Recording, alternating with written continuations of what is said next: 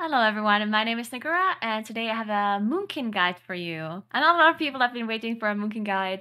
I did want to wait a little bit to do a more in-depth Moonkin guide because there's still possible changes that are going to be happening to Moonkin like tuning changes, general changes to gear and to tier set and whatever.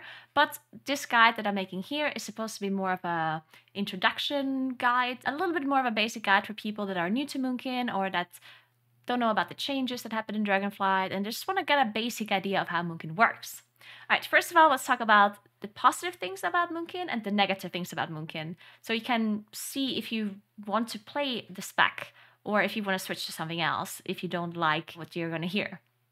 All right, so the positive things about Moonkin is that we are probably the only class in the game that has such a huge spread out AoE potential. Because of our Starfall, that is such a huge radius, almost no other class in the game has the possibility to do that. So whenever you are in a situation where spread out AoE would actually be needed, then Moonkin is by far the best uh, choice you can have, usually.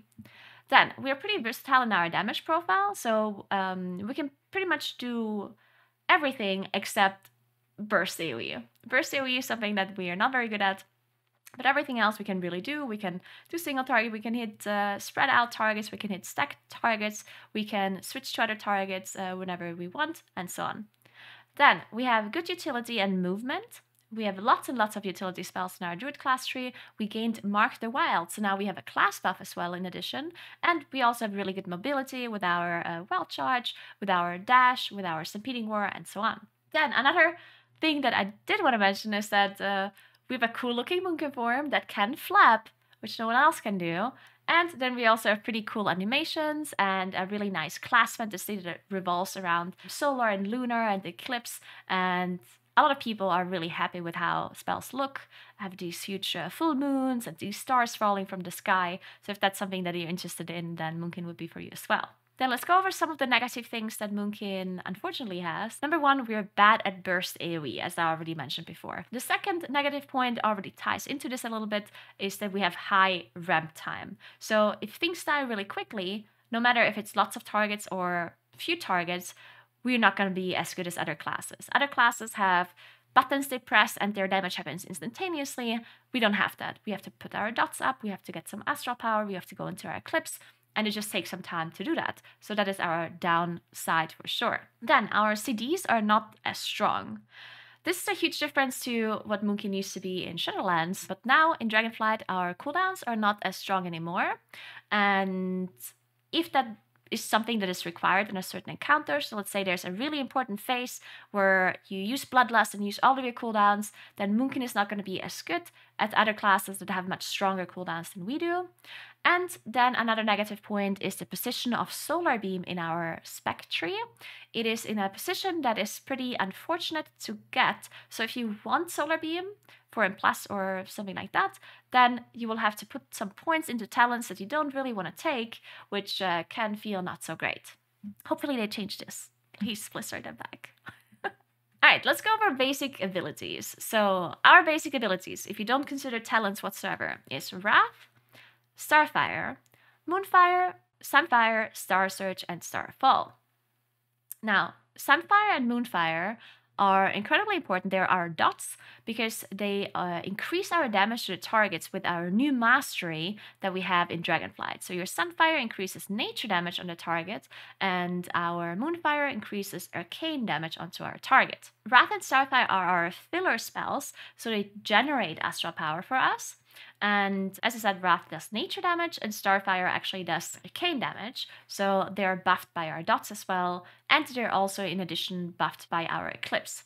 Wrath also does only singular damage to the target that you're hitting, while Starfire actually has a splash effect. So if you're targeting a mob with Starfire, it also does additional splash damage around the target as well. Then our resource is called Astral Power, and you generate it with a variety of abilities. One of them I already mentioned, Wrath and Starfire. Then our dots are also generating astral power, and then there's also some of our talents that will give us astral power generation as well. Then you can spend your astral power on Starsurge and Starfall. Those are our astral power spenders. Starfall is the AoE ability that is this huge radius around your character, and Starsurge is a single target astral power hit that does only damage to the target that you're using it on. Then let's uh, talk about astral damage. Astral damage is the combination of arcane and nature damage. This means that every ability that does astral damage actually benefits from both nature damage increases and arcane damage increases. So, since our Sunfire, for example, increases our nature damage done to the target, and our Moonfire increases our arcane damage done to the target, a spell that only does nature damage will only benefit from the Sunfire, while our arcane damage only benefits from the Moonfire, but our astral damage, for example, Starsurge and Starfall, they benefit from both and it adds up. So if you have a 10% nature damage increase and a 10% arcane damage increase, then your astral spells do 20% more damage. But your nature damage only do 10% more damage and your arcane spells only do 10% more damage. Our basic rotation revolves around our Eclipse system. Basically, if you cast two filler spells, so Wrath or Starfire, then you enter the opposite Eclipse. If you cast two Wraths, you will enter Lunar Eclipse for 15 seconds. And if you cast two Starfires, you will enter Solar Eclipse for 15 seconds. Solar Eclipse is our nature damage eclipse that increases our nature damage done. And if you're in your lunar eclipse, you will get more arcane damage done. Keep in mind that astral damage benefits from both nature and arcane damage increases. So for Starfall and for Starsurge, it doesn't actually matter if you're in your solar eclipse or in your lunar eclipse. It doesn't matter for that damage. But of course, if you're in solar eclipse, only your wrath gets buffed and not your starfire. And if you're in lunar eclipse, only your starfire gets buffed and not your wrath. Now I'm going to quickly go over some talent builds because this is supposed to be more of a basic guide. So I'm not going to go over all of the talents and explain why and what I'm doing. I'm just going to show you a build basically, and I will explain why certain things are really important and why other things not so important. All right, so I've circled the talents that are really important that you should be going for for a single target in red. These talents, in the spec tree, of course, they give you the most damage, and you should almost always go with those talent points. Keep in mind that this can change still, so at the moment, this is what it looks like, right? The red talents definitely pick them up on single target. I also circled some talents in the class tree with red circles because those also give you damage, even though a lot of the talents in the class tree do not give you damage, but there's very few that do, so make sure you pick those up. Then I circled some of the talents in green in the spec tree, and those talents are currently the best talents for a single target, but they are not giving you an insane amount of damage increase. So if you want to switch them up for something else, you can totally do so. And again, this might change, so keep that in mind. But if you don't like some of those green talents that I circled, you're totally fine to go with another talent and you're not going to be losing like an insane amount of damage, so you're totally fine to do that. Then I circled some talents in purple. Purple is pure utility, and you're totally free to use whatever talents you want. You don't have to go with the talents that I circled with purple. I circled them because, in my opinion, they're the most useful ones in almost any kind of situation. Like, no matter if you do raids or M plus or whatever it may be you're doing, they're almost always useful. The talents that I selected but did not circle with purple, they're less important and you can skip them if you want to go with something else because it's very situational, right? Sometimes you need a curse dispel, sometimes you don't. Sometimes you need hibernate or typhoon, and sometimes you don't. So, definitely switch up your utility depending on what you need. All right, now I'm quickly going to go over a single target opener that you would be doing if you have the talents that I have selected here. And keep in mind, this is without four piece bonus. This is without the tier set four piece bonus. All right, so initially you will cast two Wraths on the pull timer because Wrath has a travel time, so you can cast it on max range before the pull timer hits zero. You can, depending on your haste levels, you can already start casting at around two seconds even before the boss gets pulled because it takes quite a long time for a wrath to travel. So you cast two wraths before the boss gets pulled. Then once the boss gets pulled, you apply your Moonfire, your Sunfire, and your Stellar Flare. Then you immediately use your cooldowns, no matter if you're in an eclipse already or not. It doesn't matter, you don't have to enter solar or lunar eclipse first. You just press your cooldowns as soon as you have applied your dots. Then you press Fury of Elune, and then you continue your normal rotation. So it's a pretty easy opener. Precast your Wraths, put your dots up, cast your cooldowns with your potion, with your trinket, with everything, cast Fury of Elune, and then use your normal rotation. Now, how does the normal rotation work? So of course you want to keep your dots up. Sunfire, Moonfire, and Stellar Flare. You want to keep those up all the time. Then you want to use your astral power to cast Star Surges on single targets, of course. And you want to make sure you use the Star Surges inside an eclipse and preferably inside your double eclipse. Of course, if you have your celestial alignment or a pulsar proc, you will be in both lunar and solar eclipse at the same time, and this would be the preferred situation to cast your astral damage star surge because of course it will be buffed by both of the eclipses.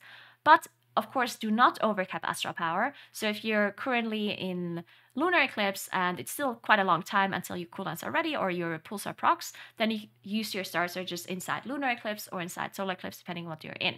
Then you want to maximize your eclipse uptime. And this is a bit awkward. Currently, we go into lunar eclipse on single target. We didn't do this in the past. In the past, we went into solar eclipse for single target because our Wrath was more beneficial to cast than our Starfire. But uh, with the new talent system that we have, we have so many talents that um, buff entering and exiting eclipses.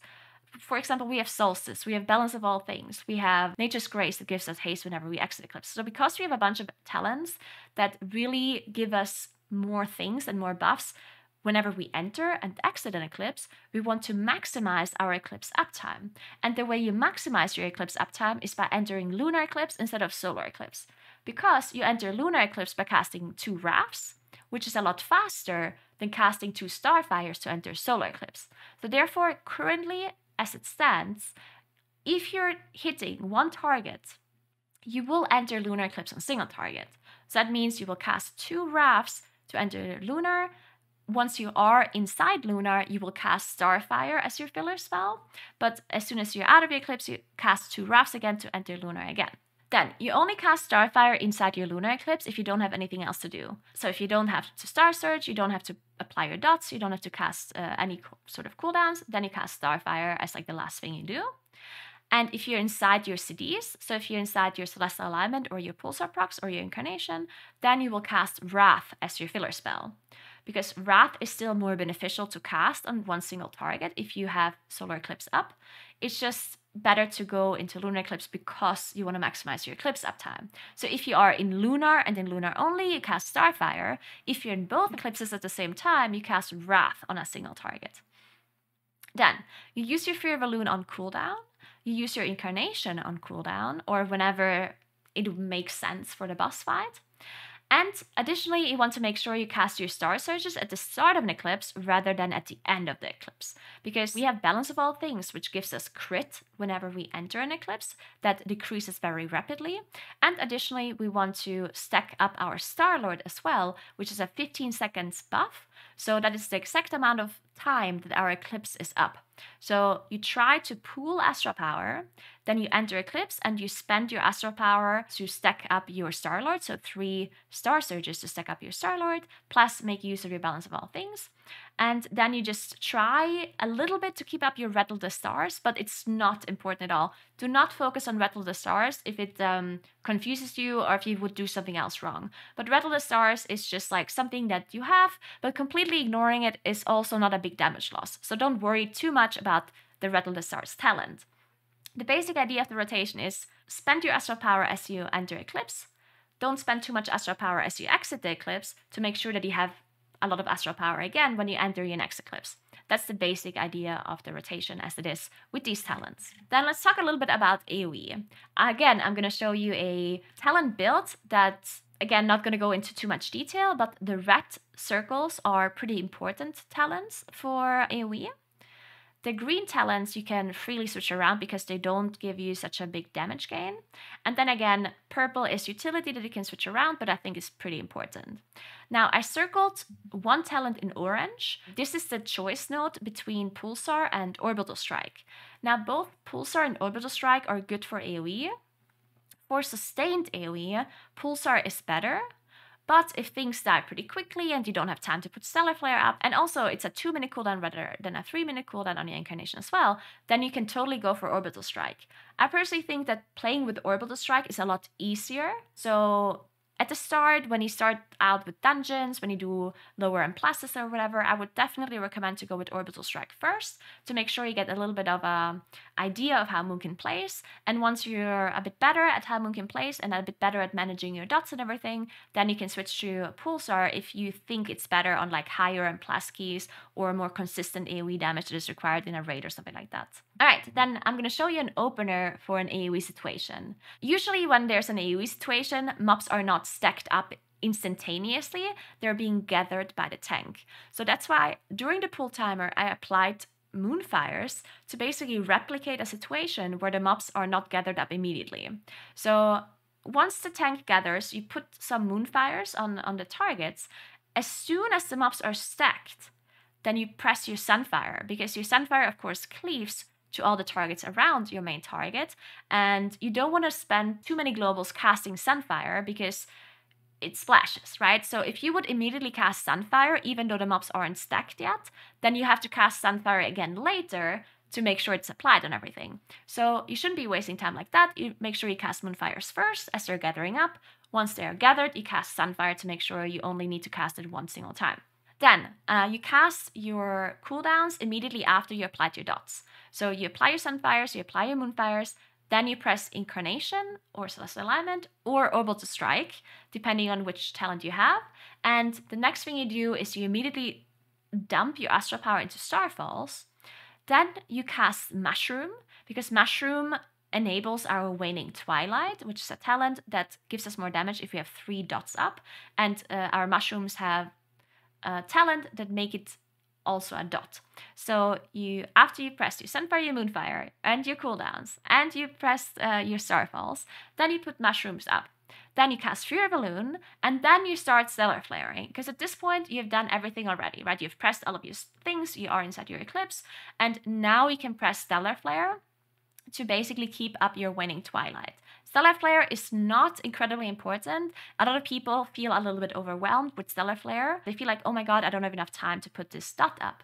But just know that everything else that you do is much more important than putting up Stellar Flare. Stellar Flare is just an enabler for Waning Twilight, and it generates a little bit more astral power. So this is something that is not as important as all the other things that I mentioned before. So only start casting Stellar Flare if you have nothing else to do if you don't have to put moonfires up, if you don't have to cast starfalls, if you really have no other things that you want to be doing, then you apply stellar flare. So definitely keep that in mind.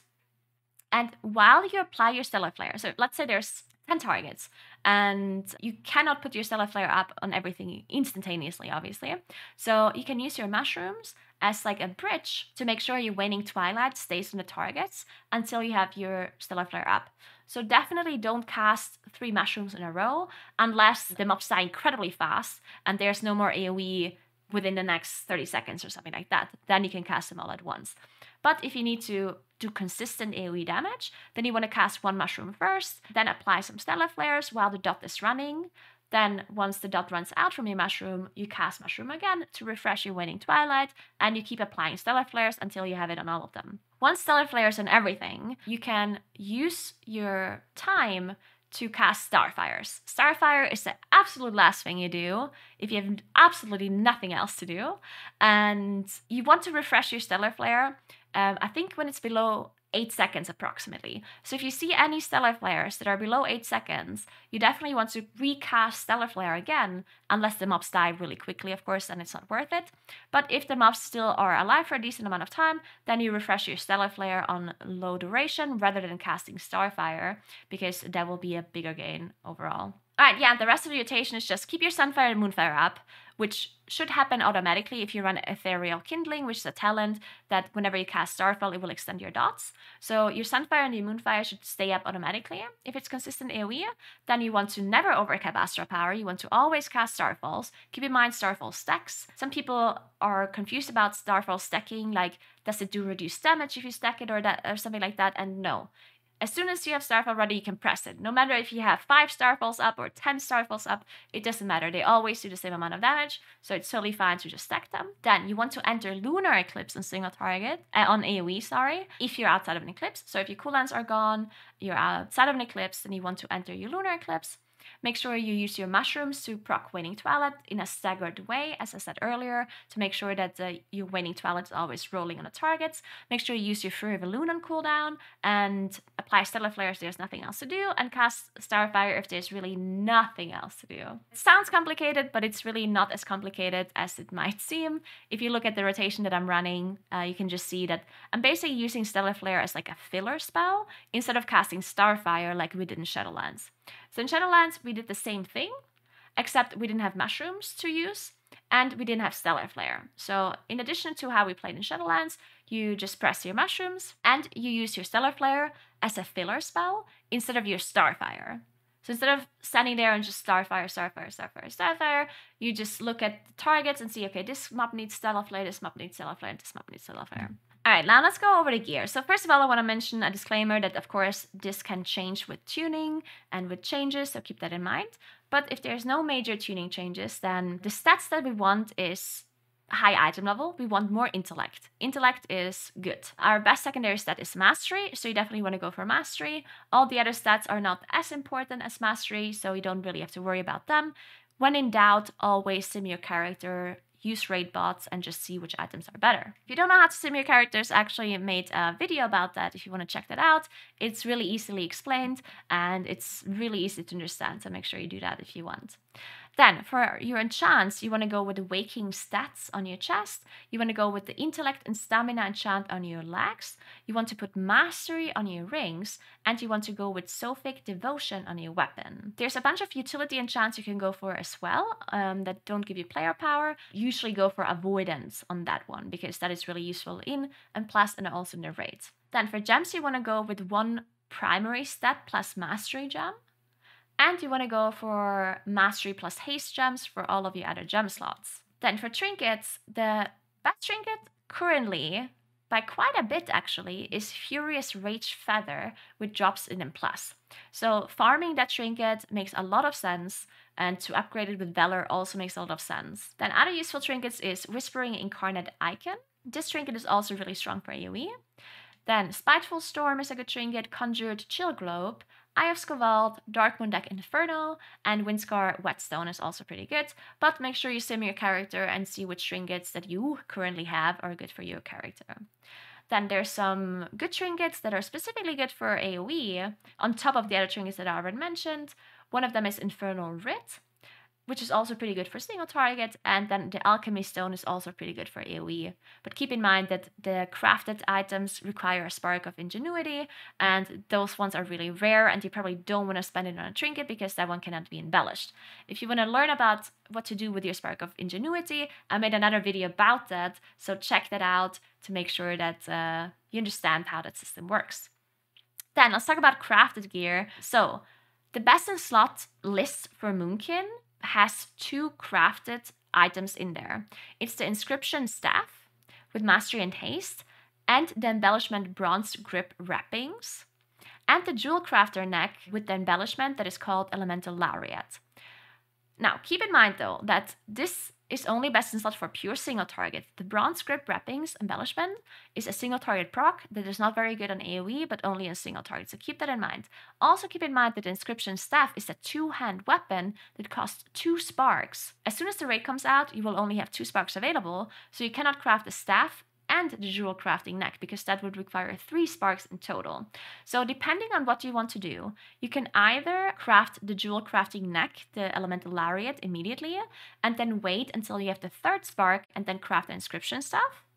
Or you can craft the elemental lariat, the jewel crafting neck, and use your other spark to craft a one-hand weapon that you put an embellishment on. And then you wait for two more sparks so you can craft the inscription staff. So this is a little bit a decision that you have to make depending on how strong you have to be at the very start of the raid coming out. If you have some time and your your guild doesn't need you to be fully powered up at the start, then you can wait a little bit for extra sparks. And if you cannot wait, then maybe craft something that is a gain immediately and um, then later on once you have infinite sparks available to you you can craft the best in slot items now when it comes to embellishments i personally suggest that you use one embellishment for the jewel crafting neck, the elemental lariat, that is not available yet until the raid comes out. Once the raid comes out, this will be a recipe that drops. This recipe is not in the game yet before the raid comes out, so keep that in mind. And I would recommend for your second item to craft a one hand weapon. It can be anything, it can be a one hand dagger. I think there's a mace as well. Either way, whatever one hand intellect weapon that you can find is fine put mastery and haste on it. And then I personally recommend to use the potion embellishment. The potion embellishment makes your potion last 50% longer. And the reason why I recommend this is because it doesn't have any downsides. It's good in every situation. It's good on one target, it's good on 10 targets, it's good on basically anything as long as you use a potion. The problem with bronze grip wrappings is that it's good on single target and not good on other things. And the problem with the blue silken lining is that you have to be above 90% HP to get the embellishment enabled. And in my opinion, doing progression, you're not going to be above 90% HP a long duration of the fight. So in my opinion, the, the lining is a no-go, blue silken night lining, even though it sims really well, but it only sims really well because in the sim, in the simulation, your character is never going to drop below 90% because it just assumes that you're always on 100%, right? But in reality, you're going to drop below 90% quite a lot, and therefore I do not recommend the lining. I personally think you should go with the jewel crafting neck, the lariat, and a one-hand weapon, or the jewel crafting ring that works as well. If you manage to get a weapon through M plus or through the mythic raid really early on, then you don't have to craft a weapon. You can just craft a ring instead of jewel crafting ring, and you can put the potion embellishment on that one as well. Now, you don't have to listen to me. Keep in mind, I'm just kind of feely crafting this. I've seen the numbers on the embellishments from the theory crafters, the Moonkin theory crafters, and in my opinion, it's not worth the extra gain from the other embellishments because of the downsides that they come with. So in my opinion, the potion embellishment plus the jewel crafting lariat is the best. But do whatever you you think is best and whatever your situation you're in as well, right? And the reason why I suggested the jewel crafting ring is because it's very hard to replace that, right? Because if you craft a jewel crafting ring, even if you're lucky somehow and you get another ring from the raid that is really good, then you don't have to unequip your jewel crafting ring. But if you craft bracers or a belt or whatever, and then you actually have a belt that drops in the raid for you, then you cannot wear both of them, right? So that's why I suggested the ring, and it also comes with the best stats as well, because you can define the stats that are on your ring. All right, now when it comes to consumables, the best potion is the Elemental Potion of Unlimited Power. This potion costs one Primal Chaos though, and Primal Chaos is something that is not easy to come by at the very start of the raid coming out because we need so many Primal Chaoses to craft our crafted gear, our profession gear. So the cheaper version of this, if you do not have Primal Chaos available for these pots, it's the Elemental Potion of Power. That one does not cost Primal Chaos, but it also gives you less stats. Then the best vials for single target is the Phial of Elemental Chaos. And technically, the Toxic Crit Flask would also be pretty good, but it has downsides, it has a negative effect, so I don't necessarily recommend it for progression or anything like that. For AoE, if you do M plus or any sort of AoE raid encounters, then you want to run the Phial of Glacial Fury. So Phial of Elemental Chaos single target, Phial of Glacial Fury AoE. When it comes to food buff, you want to run the intellect food. If you don't want to spend so much on intellect food, you can run the mastery plus haste food.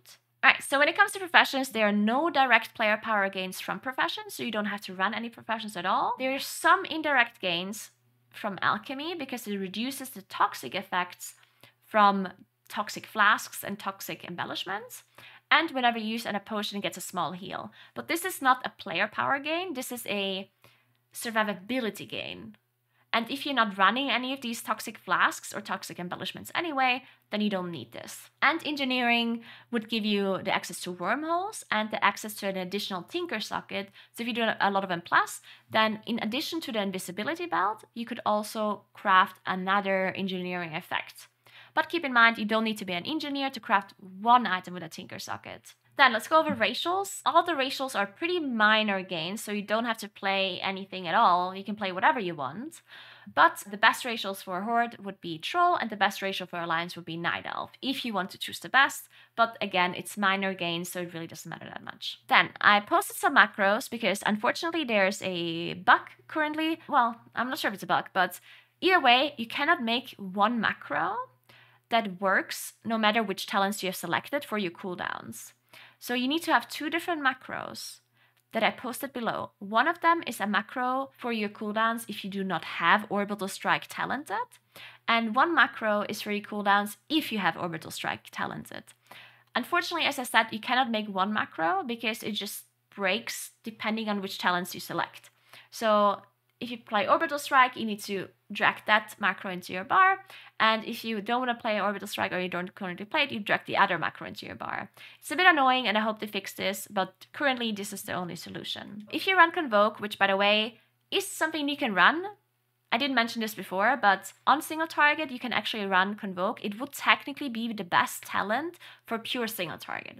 So if you're ever in a situation where you're fighting one single mob and one single mob only, for example in Vault of Incarnates, it's Terros, the second boss, then you can run Convoke and it's actually the best talent. It's better than running Incarnation in that um, scenario, but only for that situation. And if you run Convoke, then you can run this macro as well because it basically makes you not cancel it. Because so, sometimes when you spam Convoke and you press it multiple times, then it will cancel itself and that is obviously really bad. So if you run this macro, then no matter how many times you press it, it will not cancel itself, all right? And that's it. I really hope this guide helped you out a little bit to understand like the basic idea of Moonkin, and I hope I gave you enough information about stats and all of that kind of stuff to understand it a bit more. And yeah, I hope you have fun playing Moonkin. I hope you enjoy playing it in a raid and in M plus. And let's all hope for Moonkin buffs because we want Moonkin to be better, of course, right? If you agree, say Moonkin buffs in the comment below, please.